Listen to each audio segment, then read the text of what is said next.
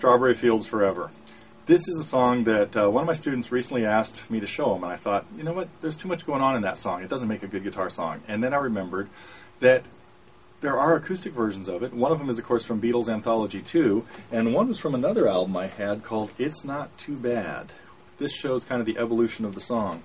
And so I uh, got together, putting, uh, put together a lesson on this that is now available at Totally Guitars that the song is actually fairly easy to play as long as you can play some bar chords G's, B minors. There's a G minor in there and an F in there. If you can get through those four chords, and then otherwise normal chords, D minors, A minors, adding in some passing bass notes, and we even do a little introduction that you just heard. So, so the lesson covers all of that. So if you'd like to learn a nice acoustic version of Strawberry Fields Forever, John Lennon's tune that, of course, he wrote right after they had stopped touring in August of 1966, they really played their last show at Shea Stadium at Candlestick Park, right here in Northern California, and uh, decided to call it quits. They took some vacations. John went off to Spain to work on a movie, How I Won the War, and while he was there in Santa Isabel, he started messing around with this chord progression on a guitar that was really badly, well, tuned very low and very badly out of tune. But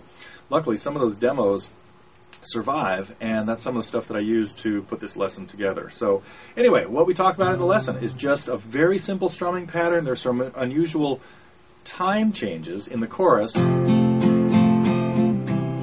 where you have to be able to play a chord for three beats. So, there's a lot of neat little things in this. So, if you'd like to check out Strawberry Fields, be sure to come visit us at totallyguitars.com.